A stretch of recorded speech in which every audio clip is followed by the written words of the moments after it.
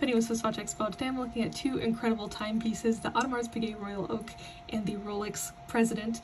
And you can see I chose them because they both have these beautiful mother of pearl dials with ruby hour markers. And I just think it's so fun when you see different watch companies kind of doing simil similarities between their different watches. And both of these are absolutely gorgeous and I think that it's fun to just look and see the similarities and the differences. You can see that the AP has the classic Royal Oak design with the eight uh, high polished screws and the diamond bezel all around. I just think it's such a cool look. It's absolutely beautiful in the size as well. I think that the lady size is always lots of fun, very playful.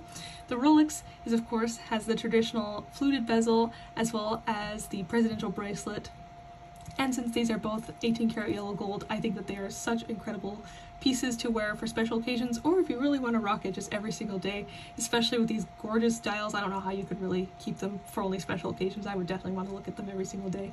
So if you are looking for unique timepieces like these ones or for other timepieces as well, we have tons of Rolexes, APs, tons of other brands as well in stock at SwissWatchExpo.com.